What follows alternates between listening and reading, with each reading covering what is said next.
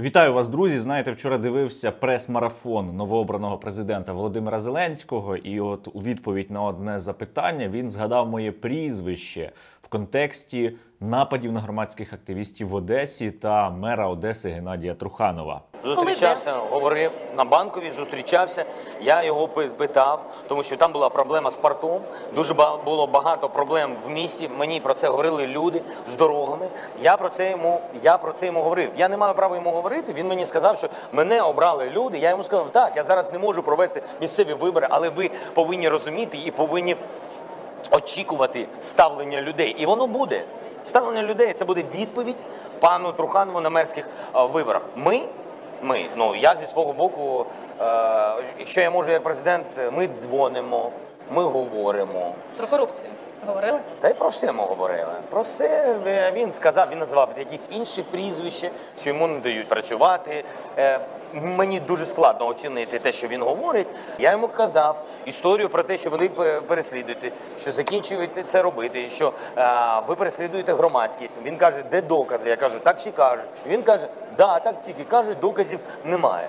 Тому е, я думаю, що і в цьому кейсі ми з вами повинні мати, ну докази повинні мати, ну хоч якісь. Він скаржився на цього хлопця. Зараз я вам скажу. Один хлопець. А? Стерненко. Ви ж знаєте, да, що на Стерненко там а, у е, Стерненко теж, ну, ми- ми знаємо, це ж відкрита інформація, да? що він вбив людину. Ми про це знаємо з вами. Там дуже складна історія, але там е, Стерненко вижив, на нього теж там до цього ще моменту. Тобто там ситуація складна, неправильна, непроста, кримінальна. Це моя думка. Як її змінити з нашого боку, як ми можемо? Ми е, встигли змінити службу безпеки, е, займаємось новим перезавантаженням поліції в Одеській області. Там, ви знаєте, там є там є клани. А, тому є деякі кримінальні кейси. Я про це знаю. І я знаю, що ці кримінальні кейси розглядаються в наших правоохоронних органах.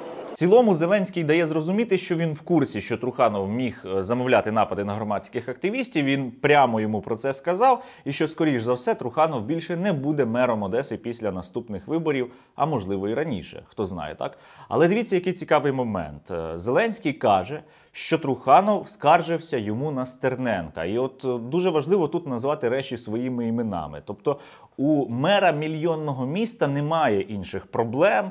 От, мабуть, всі проблеми Одеси вже давно вирішені, і він їде до Києва в офіс президента, зустрічається з президентом, щоб поскаржитись йому на 24-річного хлопця, який е, навіть вже не проживає в Одесі, тому що з Одеси я поїхав після того, як на мене було скоєно три замовних напади, і я не можу себе почувати в Одесі в безпеці. Тобто, простими словами, ймовірний замовник вбивств їде до президента України для того, щоб поскаржитись на жертву, яку не вдалося вбити, що ця жертва йому заважає заважає.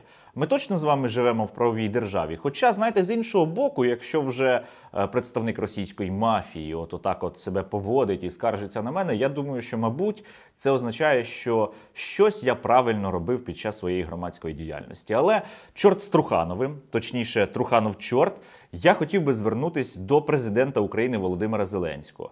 Пане президенте, знаєте, е, я хочу вам нагадати, що окрім нападів на мене в Одесі, на Сергія Стерненка, було скоєно іще серію атак на інших громадських активістів. Намагались вбити Олега Михайлика, Григорія Козьму, Михайла Кузаканя, Аліну Радченко, Світлану Підпалу та Віталія Устименка і ще багатьох інших.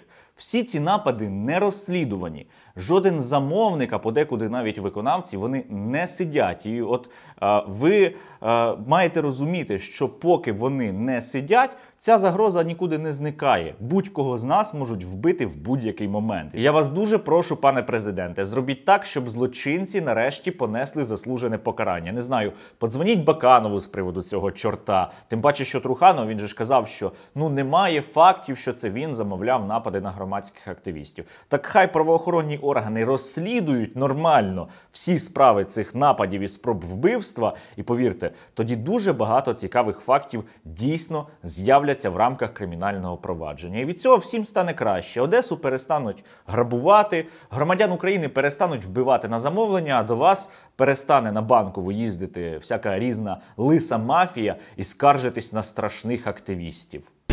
А ще знаєте, друзі, зараз проти мене розгорнули величезну медіа-атаку, до якої підключились всі канали Медведчука, вся фракція Медведчука, Ілля Кива, Микола Азаров, Вітренко і інші шарієподібні, тобто всякі там риги і проросійська наволоч. І мене багато хто запитує: власне, а чому всі вони зараз проти мене почали е, буквально інформаційну війну? І у мене відповіді на це запитання поки що немає. Якщо у вас є якісь варіанти, буду вдячний, якщо напишете про це в коментарях під цим відео. и неким Сергеем Стерненко, э, аббревиатуру которым, видимо, СС. Підписуйтесь, коментуйте, робіть так, щоб всякі шанувальники окупантів та члени міжнародної мафії скаржились на вас президенту та залишайтесь на зв'язку.